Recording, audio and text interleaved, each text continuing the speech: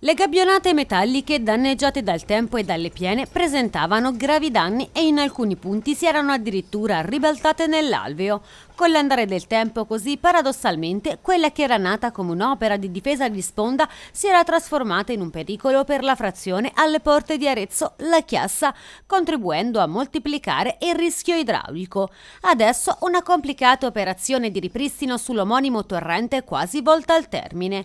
Il paese era stato infatti soggetto ad alluvioni che avevano interessato il centro della frazione del comune aretino.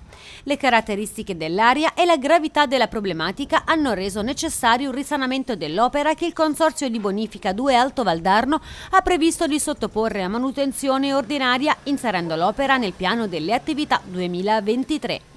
In questi giorni l'intervento è in fase di completamento, spiega il direttore Francesco Lisi.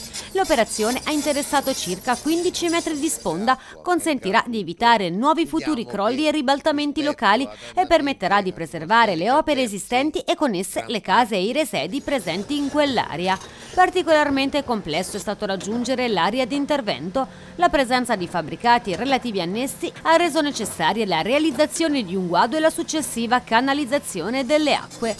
Quindi sono state rimosse le gabbionate danneggiate e ammalorate, sostituite con nuovi elementi posti su due ordini, di forma e dimensioni analoghe alle precedenti.